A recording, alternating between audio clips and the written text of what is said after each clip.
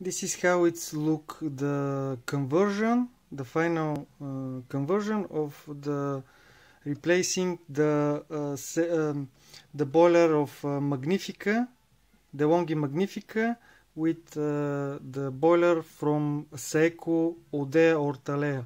It's J boiler. So you can see here how the conversion is work. I use these hoses. So when the top of the machine is here. This hose will be bent like this. But now I want to show you how it's look everything. And something because um, I don't uh, have uh, can find the longer bolts. I use uh, I cut from this piece here with uh, the thread.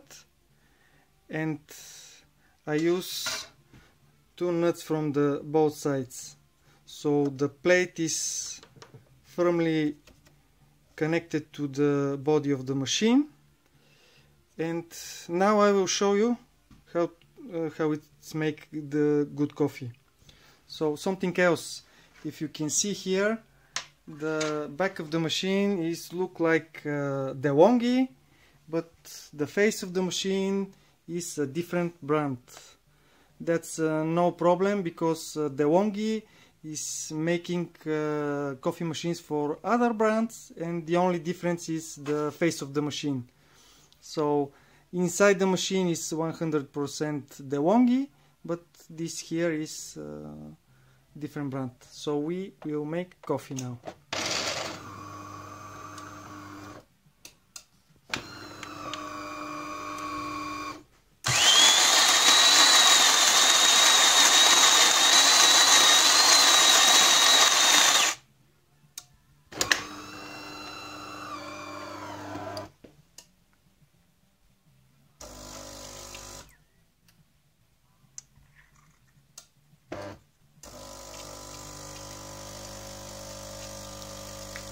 here is the coffee.